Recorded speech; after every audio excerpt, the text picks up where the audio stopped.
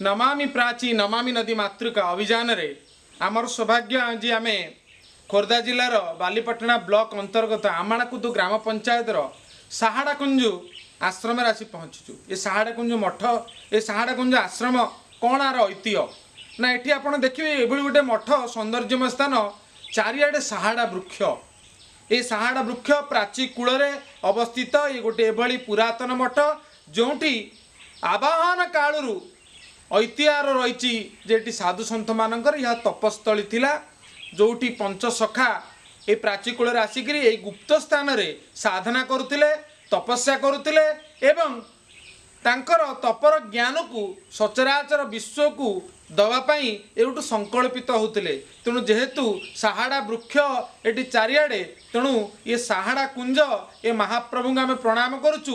ଏଠି ବର୍ତ୍ତମାନ ଗୋଟେ ସୁନ୍ଦର ରାମ ମନ୍ଦିରଟି ହେଇଛି ଯେଉଁଠି ରାମ ଲକ୍ଷ୍ମଣ ସୀତା ପୂଜା ପାଉଛନ୍ତି। ଏଠି ମଧ୍ୟ ଆପଣମାନେ ଭୋଜି ଭାତର ଆୟୋଜନ କରିପାରିବେ। ଭାରି ମାନେ ବଣ ଜଙ୍ଗଲ ଭରା ଗୋଟେ ଏଭଳି ସ୍ଥାନ ଯେଉଁଠି ଆପଣଙ୍କୁ ଗୋଟେ ମାନେ ଆପଣ ଆସିଲେ ଆପଣଙ୍କୁ ଲାଗିବ ଗୋଟେ ଇକୋ ଟୁରିଜିମ୍ ଗୋଟେ ଏଭଳି ସ୍ପଟ୍କୁ ଆପଣ ଆସିଛନ୍ତି ଯେଉଁଠି ଆପଣ ଜଙ୍ଗଲକୁ ଅନୁଭବ କରିପାରିବେ। ନିଆଳି ଠାରୁ ମାତ୍ର ତିନି କିଲୋମିଟର ଦୂରରେ ପାଣ୍ଡବକୁତ ପାଖରେ ଆଉ ଗୋଟେ ସୌନ୍ଦର୍ଯ୍ୟମୟ ସ୍ଥାନ ଆମେ ଆଜି ପାଇଛୁ ସାହାଡ଼ା କୁଞ୍ଜ ଆପଣମାନେ ସାହାଡ଼ା କୁଞ୍ଜ ଆସନ୍ତୁ ପ୍ରଭୁଙ୍କୁ ଦର୍ଶନ କରନ୍ତୁ। ନମାମି ପ୍ରାଚୀ ନମାମି ନଦୀ ମାତୃକା ହର ହର ପ୍ରାଚୀ ଘର ଘର ପ୍ରାଚୀ। ବନ୍ଦେ ଉତ୍କଳ ଜନ ପ୍ରାଚୀର এই ସାହାଡ଼ା କୁଞ୍ଜ ଯେଉଁ ମଠ ରହିଛି ସାହାଡ଼ା କୁଞ୍ଜ ଆଶ୍ରମ ରହିଛି ଏଠି କଥା ରହିଛି ଯେ ପ୍ରଭୁ ରାମ ମା ସୀତା ଏବଂ ଭାଇ ଲକ୍ଷ୍ମଣ ଏ ପ୍ରାଚୀ କୂଳରେ ଆସିକିରି ସାହାଡ଼ା କୁଞ୍ଜ ଏହି ତାଙ୍କର କଠଉ ଆଜି ମଧ୍ୟ ପୂଜା ପାଉଛନ୍ତି। ପୁଣି ଯେହେତୁ ଏଠି ଭଗବାନ କୃଷ୍ଣଙ୍କର ମଧ୍ୟ ଲୀଳା ଖେଳ ଚାଲିଥିଲା ପ୍ରଭୁ କୃଷ୍ଣ ଏହି ଅନ୍ତର୍ବେଦୀ ମଠରେ ଘର ଛାଡ଼ିଥିଲେ ତେଣୁ ଏ ସ୍ଥାନଟି ମଧ୍ୟ ସାହାଡ଼ା କୁଞ୍ଜ ରୂପରେ ମଧ୍ୟ ବିଖ୍ୟାତ। ତେଣୁ ଦ୍ୱାପର ଯୁଗର ତ୍ରେତୟା ଯୁଗର ପୁରାତନ ମଠ ପ୍ରାଚୀକୃଟର ଏହି ସାହାଡ଼ା କୁଞ୍ଜ ମଠ। ଏ ଦେଖନ୍ତୁ ସାହାଡ଼ା କୁଞ୍ଜ ମଠକୁ ଆମାଣାଗଦ ଛକ ଉପରୁ ଆପଣଙ୍କୁ ଆସିବା ପାଇଁ ଏ ଯେଉଁ ରାସ୍ତା ଦେଖନ୍ତୁ। କିଭଳି ବଣ ଜଙ୍ଗଲ ଦେଇକିରି ଆମକୁ ଆମେ ବର୍ତ୍ତମାନ ଚାଲିଛୁ କିଭଳି ପୂର୍ବରୁ ଆମର ଆଶ୍ରମ ସବୁ ଥିଲା ମଠ କିଭଳି ଥିଲା ଯାହାକି ଲୋକାଳୟ ଠାରୁ ଜନାଳୟ ଠାରୁ ଦୂରରେ ଥିଲା ଯେଉଁଠି ସାଧନା ତପସ୍ୟା କରିବା ପାଇଁ ଋଷିମୁନିମାନେ ଧ୍ୟାନରତ ହେଇକିରି ଯେଉଁଠି ମନନ ଚିନ୍ତନ କରନ୍ତି ସେ ସ୍ଥାନ କିଭଳି ଦୂରରେ ଥିଲା ଜଙ୍ଗଲ ଭିତରେ ପାହାଡ଼ ପର୍ବତ ଭିତରେ ଜନପଦ ଠାରୁ ଦୂରରେ ଲୋକାଳୟ ଠାରୁ ଦୂରରେ ଯେଉଁଠି ମନନ ଚିନ୍ତନ ନିଧିଧ୍ୟାସନ କରିବା ପାଇଁ ଏକାନ୍ତରେ ବାସ କରିବା ପାଇଁ। କାରଣ ଆଧ୍ୟାତ୍ମିକତାର ଗୋଟେ ବଡ଼ ଜିନିଷ ହେଉଛି ଏକାନ୍ତ ବାସ। ଏକାନ୍ତ ବାସ ବହୁତ ଆବଶ୍ୟକତା ରହିଛି।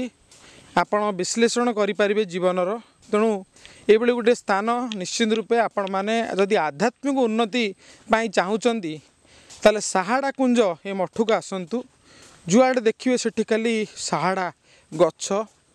ତେଣୁ ଏଭଳି ଗୋଟେ ସ୍ଥାନ ଆପଣ ଶିଶୁ ଆନନ୍ଦଙ୍କ ପୀଠରେ ଆପଣ ଦେଖିଥିବେ କିଭଳି ସେଠି ସାତଟି ସାହାଡ଼ା ଗଛ ମୂଳରେ ଶିଶୁ ଆନନ୍ଦଙ୍କର ସମାଧି ପୀଠ ଅଛି।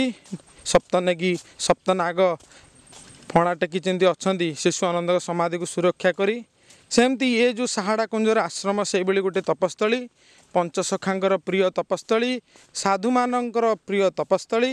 ତେଣୁ ଯେତେବେଳେ ଆପଣମାନେ ନିଆଳି ଆସିବେ ନିଆଳିର ପାଣ୍ଡବକୁଦ ମଠ ଆସିବେ ପାଖରେ ବାହାକି ବାଲିପାଟଣା ବ୍ଲକର ଅନ୍ତର୍ଗତ ଆମାଣାକୁଦ ଆସିଲେ ଆମାଣାକୁଦରେ ଆପଣ ସାହାଡ଼ା କୁଞ୍ଜକୁ ଆପଣମାନେ ଆପଣ ଦେଖିପାରିବେ। ସାହାଡ଼ା କୁଞ୍ଜ ଆମେ ଯାଉଛୁ ରାସ୍ତାରେ।